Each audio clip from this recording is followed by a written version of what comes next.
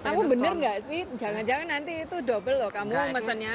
Supaya diskon 50% pengiriman gratis. Oh, ngono. Ya wis tak send namanya. Alamatnya wis bener ora? Bener. Nah, ini lah, dulur. Nomornya bener. Yang namanya teknologi Ojo. baru ya. Saiki memang yang namanya smartphone itu iso apa ae? Lagi mang ono aplikasi khusus, nggih blonjo bayangkan nih. Tinggal Oh. mencet-mencet, Bahaya itu. bahaya makanya. Anak kecil ya iso, no? Iso, kadang-kadang ono tuh ada kejadian anak kecil itu, tiba-tiba kredit cardnya orang tuanya kok eh, kurang. Nah, dulur kita mau eh, ini mau coba Ini pertanyaan-pertanyaan dua-duanya sampai. dari email ini, Nah, dari Mbak Ainur Rofiq. hmm. Bagaimana sejarahnya Amerika merayakan Thanksgiving setiap hari Kamis minggu keempat bulan November. Terus, Mbok diadakan kuis lagi seperti dulu. Amin. Nah, piye sejarah sampean yang menguasai sejarah Amerika piye itu? Lah iki, jadi para pendatang dari Eropa Hmm. itu kan kelaparan, mereka nggak tahu bertani. Hmm. Totonya mereka bisa berteman dengan Native American, Suku Indian. suku Indian, terus diajari cak, Oh. ini loh namanya bertani, bercocok Gitu. tanam gitu. Terus eh, itu sekitar abad ke-17 ya. Tetapi Ah. menjadi resmi Thanksgiving itu baru oleh Presiden Abraham Lincoln pada tahun 1863. Oh, soal kuis nanti akan kita bicarakan mungkin tahun Ya. depan nih ya. Itu ide bagus Ide itu. bagus ya, matur Nah, ya. Matur suwun. Nah, ini email kedua dari Mbak Roska Nur. Kalau di Indonesia biasanya libur sehabis sekolah, habis semesteran. Apakah di Amerika juga begitu? Nah, iki tergantung ya cak ya. Sama Apakah catur wulan itu. apa Oh. semesteran gitu. Hmm. Eh, karena memang no kene iki yang Hmm. namanya libur itu tidak terlalu ditentukan oleh sekolahnya atau sistem pendidikan terus? negara bagian, lebih ke musim. Oh, musim. Heeh, misalnya eh, ada libur panjang pas musim panas, Panas. atau Panjang sekali loh itu, nggak salah 3 bulan itu.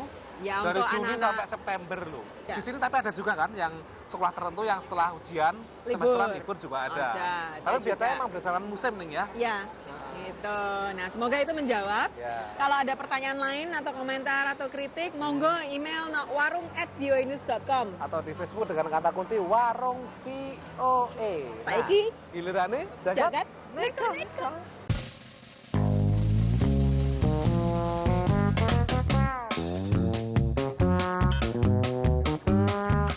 Kalau sampean gilo atau takut dengan tikus, jangan mengambil kelas psikologi di Universitas Wesleyan Nebraska. Soalnya selama satu semester musim gugur, mahasiswa psikologi harus praktek melatih tikus dalam rangka mengetahui prinsip-prinsip pembelajaran dasar.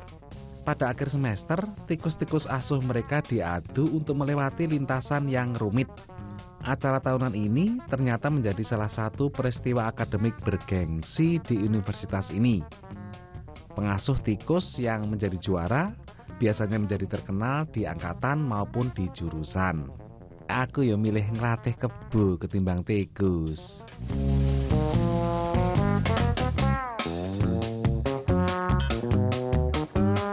Sejumlah anggota polisi di negara bagian Michigan ini memelihara beringos bukan supaya kelihatan gagah dan disegani warga, tapi karena sedang ikut kontes untuk mengumpulkan dana.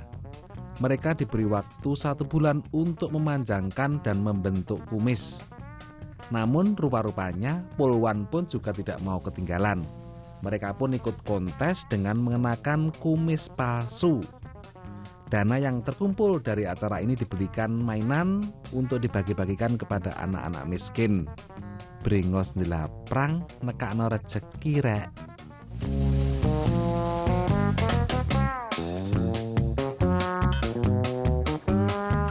Salah satu kunci keberhasilan merampok toko adalah kecepatan.